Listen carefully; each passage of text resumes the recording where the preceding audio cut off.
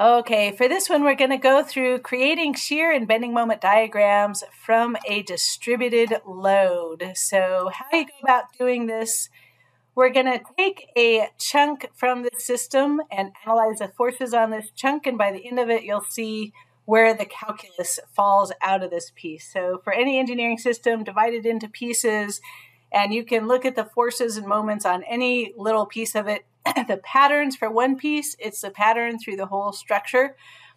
So we'll pull this little chunk out here and start looking at the forces on it. This little piece of beam here, so there's a chunk of distributed load on it. This could be a pile of sand, a pile of snow, or something. And you can take that small little element, change in x, and multiply it. So this is a kind of a two-dimensional load curve. You have force divided by a length. So to turn force divided by a length, it's kind of like pressure, PSI, only instead of pounds per area, it is a force divided by length. So we're going to multiply that by the length here, and that's going to give us the force. And the force for that element is going to act halfway through that little sliver of material. So we have this dx, dx over 2, with a piece of distributed load acting on the top of it. Okay, on either side of this, we have the shear forces holding it up. And so you can kind of think through, okay, here's the side of here, and we've got the ground is holding it up, and and then part of that distributed load that'll act in the middle, and we have, you know, the beam, what kind of internal force, and whatever is on one side of that cut, it's going to be equal and opposite on the other side. So let's draw that shear force acting up on the left. And then on the other side of it, it's going to be slightly, slightly different, right? Because we also have to add this in. So if I look at just adding together the y forces, the y forces on this little element. I have my starting shear over here on the left-hand side. I have some piece of that distributed load pushing down in the middle. And then over on this other side, there's a little bit more shear because it's having to balance this extra load on there. Okay, so if you walk through the forces in the y direction, a bit of this is going to cancel out what you end up with is the change in shear happening on this is going to be the area underneath that load curve.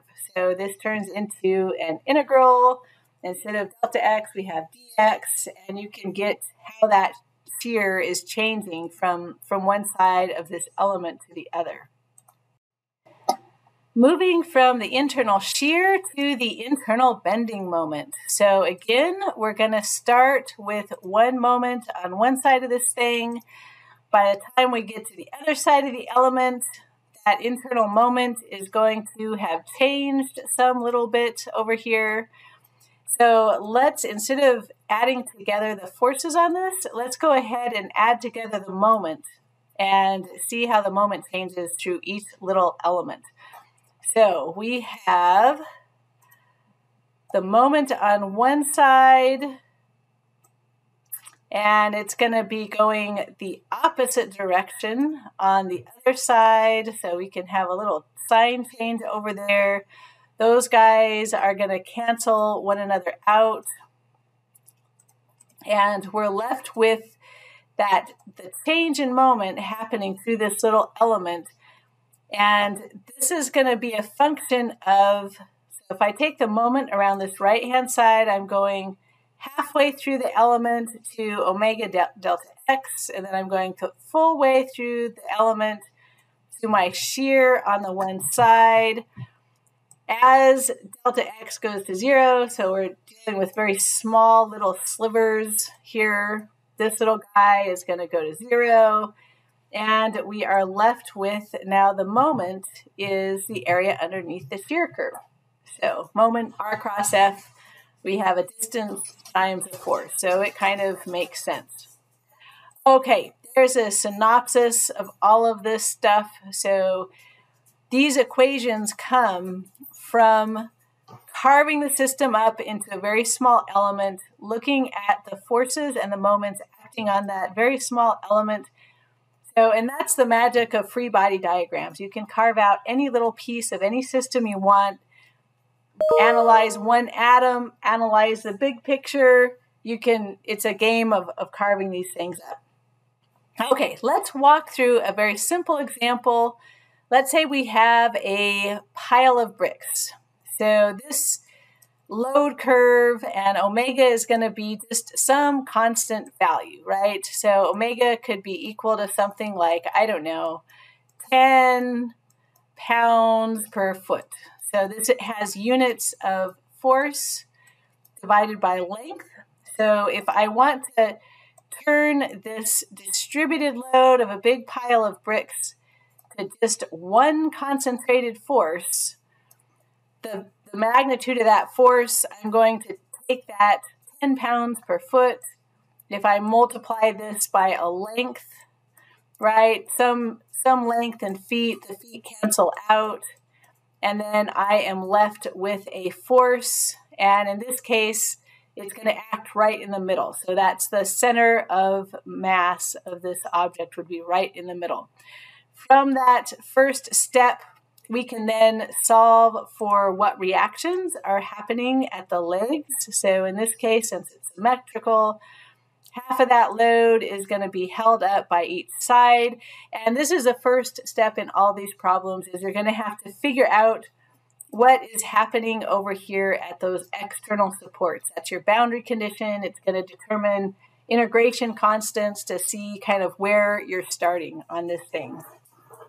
Okay, once we have what's happening at the edge, the next piece of this is to kind of carve it through and start thinking about what's happening as we walk through the beam. So let's go ahead and define a coordinate system here. So we'll just measure the distance from the end of this thing and call that the distance x. And as we walk through it, shear is going to have to balance all these y forces. So we have omega L over 2 at the end, and then as we get farther and farther into it, this distributed load on the top is getting larger and larger until halfway through it will cancel out what is happening at the edge here. Just a quick reminder for sign conventions, positive internal shear is goes down on the left hand side and up. You have equal and opposite forces on each side of that cut. And so it's just a kind of an industry standard that it sort of goes along with the sign of your moment. So if you have counterclockwise moment is positive, they are calling shear going down on this side positive or up on this side. So when you see those those shear and bending moment diagrams, if you draw the free body diagram, this is going down, but on the graph, it's positive on the graph. It's positive. Okay, so here we go. We're going to graph out how this internal shear is changing as we walk through this beam. And we're going to do that by adding together just these forces in the y direction. So we've got the shear acting in the positive direction over here and it is kind of balancing this little guy over here and I know the signs look weird and in between those two we have some piece of that load curve. If this was an entire equation instead of just a number, you could integrate the whole equation for whatever distance this is acting over. Here is an example worked out in Mathematica. So I have the shear over here acting at the edge, you kind of have to have that, that boundary condition figured out. And then this piece of it, that is the distributed load and however far into the beam that distributed load is acting. So if you go ahead and, and plot this out, what you get is this would be the, the shear diagram for what's happening inside of that beam. You'll notice that at the very middle, my shear is zero, And that is because this is symmetrical. So if I have half the load over here and then half of the load, it's already balanced, then there's nothing left to balance in the middle at that point.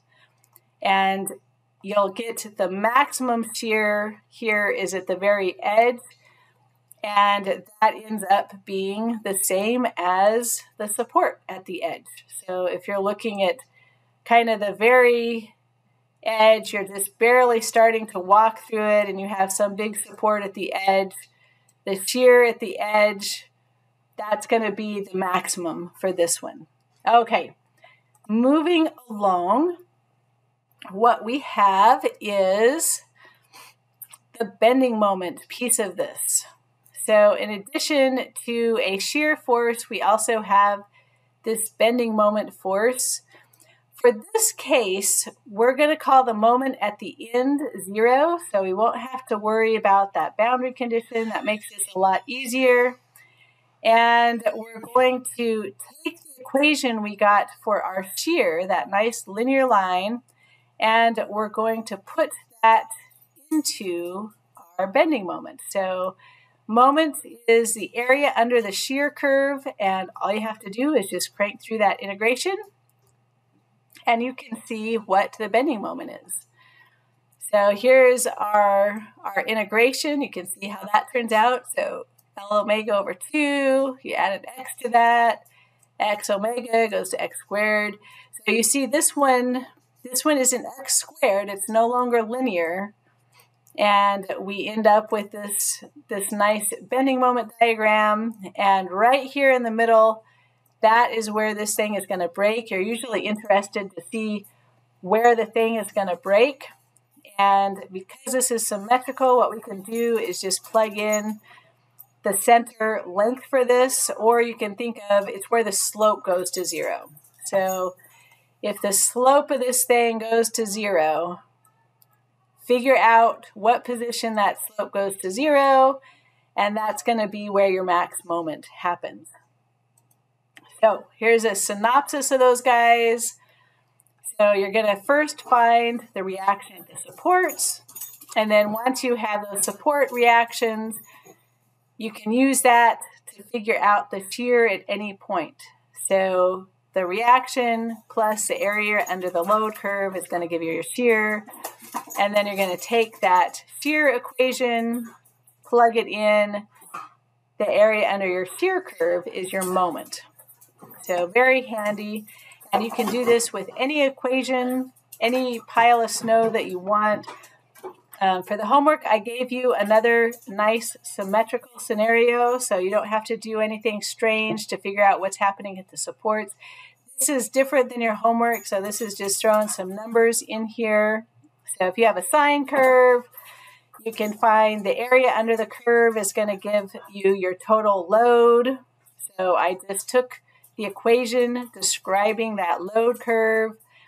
I went zero all the way to the other side. So the force, the equivalent concentrated load for this one is 30.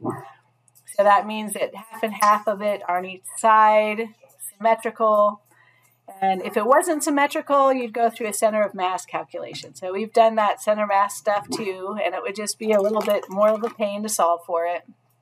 So once you have these reactions at the edges, the next part of this, so here's the total load, the shear, and I'm grabbing that little reaction at the edge. So half of that force is held up by both sides.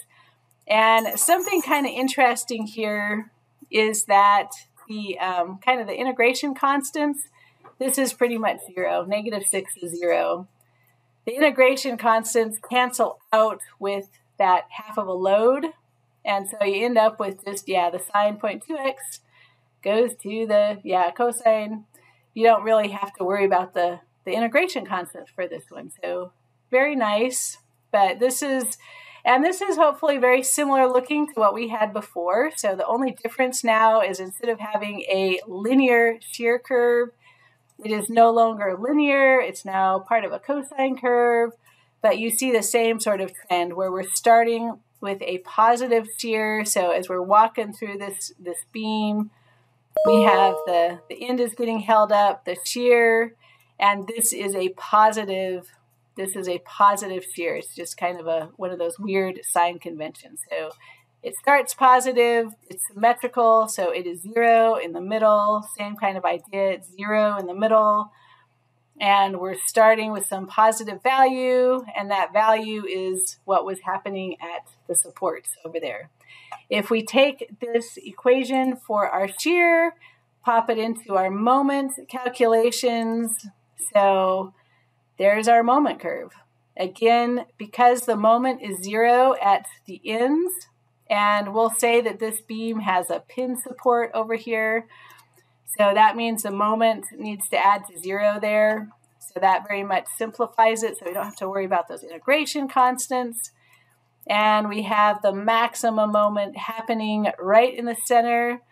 You can see where the slope goes to zero. So if you kind of solve for what is happening at the center, we end up over here with 75. So I'm just plugging in x is equal to L over 2, and then you can you can figure out what the maximum moment is for this one. Okay, so that is shear and bending moment diagrams for beams that have distributed loads on top of them. A little bit of calculus for this thing, but the big equations to remember for this is just that the change in shear is going to be the area under your load curve, and the change in moment is the area under your shear curve. So these two guys, and they come from free body diagram of just a little element of your beam.